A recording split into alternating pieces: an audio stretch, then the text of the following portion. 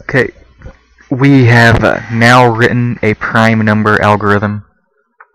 We have also written a random number algorithm here. So now uh, what I want to do, I want to write random prime numbers to the screen. Because I feel like writing random prime numbers to the screen here. So I have a I want to use these two functions together to write random numbers to the screen here. Okay. Well, I just want to write. now I only want to uh, write a hundred prime numbers that are random here. So first thing I want to do, I'm going to make a for loop. So for int i now, I don't know the conditions yet here. I'm just going to think about this here. So, now let's say while, um, let's say i is equal to 0. Now I want i to be less than 100 here. Now, I don't want to increment i here. But what we'll, uh, here, I'll just uh, show you the whole code here so you can, so you can uh, see what's going on yourself. So what I'm going to do, I'm going to say, alright, I want to make another variable. Let's call it r. Now let's say r is going to equal um, random of, let's say I want to print off ra random numbers from let's say we go from 2, or let's say we go from, um, let's say we go just from 1 to 100 here. Now we've already seen what this random function does here. it's going to re um, return any value that could be 1 through 100 here. So these are these are included here. It could also return a 1 and it can also return a 100 here. Because that's what I wanted this algorithm to do. So I made one that does that. So right here, so right now we're going to have this variable r in here is going to equal a random number from 1 to 100 here.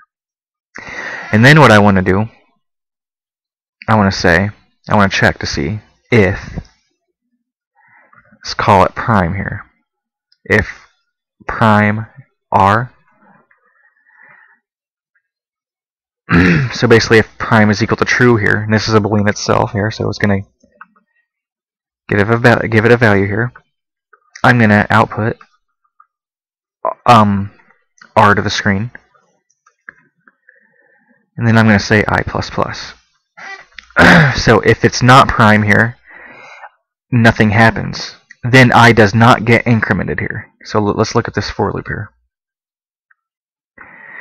So i will only increment if and only if this piece here is true it uh, this will be almost this will be I will not increment and nothing will change throughout this loop to this loop here. So we're going to be checking to see if it's prime here. Now let's let's try this here.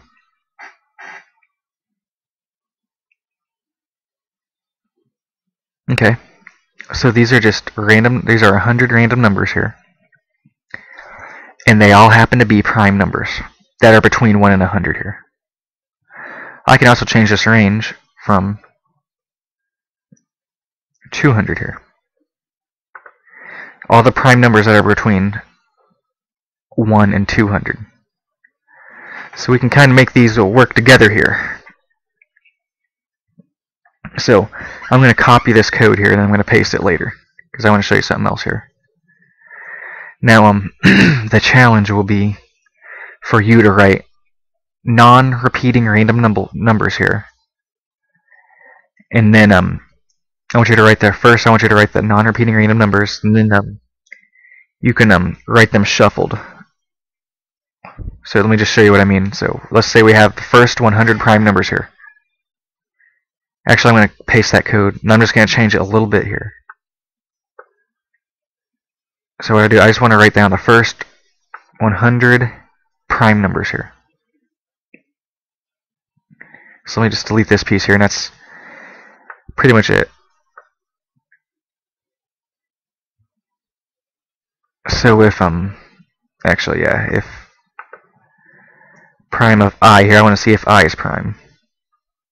And I just want to see if r is prime here. We'll set r equal to equal to 1.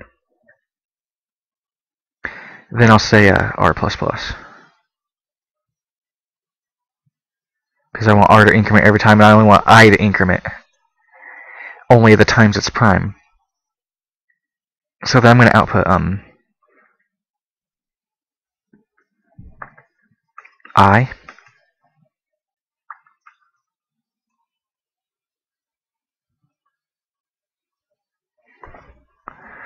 and then we're going to output the r. Now let's see what happens here.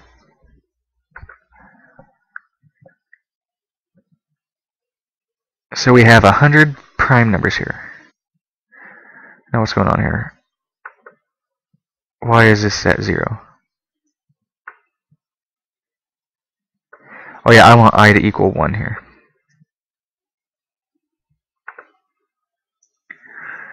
Okay, now let's look at this here. We have the first 99 prime numbers actually.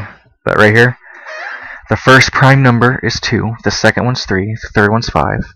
And we have all of them in order here. So, so you can try to come up with an algorithm here to write the first 100 prime numbers in a random order without repeating here. Does that make sense? So if we just look at the first five prime numbers here, 2, 3, 5, 7, and 11 here, I want you to be able to write a code that'll write those five random numbers in a random order without repeating here. So now um, I'm going to post the the uh, solution here as an um, as an add-on to this video here. So you don't have to watch it, you don't have to do it here. But it is just extra practice for you to try and figure out functions here. So your only hint that I'm giving you is that um, we already figured out how to write non-repeating random numbers here. So that code might come in handy. And you might, you know, you, you might want to use it as a function. You may not want to use it as a function. So I'll show you my solution in the add-on to this video here but it's optional. You can just go on to the next one if you if you understand what's going on here. But it's just this is just practice here, so so that's the uh, that's the trick here. And then also in the add-on here, I'll just keep on showing you hints here, and I'll show you the final solution at the end of that video here. So if you just, if you want immediate satisfaction here, you can just skip to the end of the video. So that's going to wrap this up and uh, we'll still be talking about functions in the next tutorial.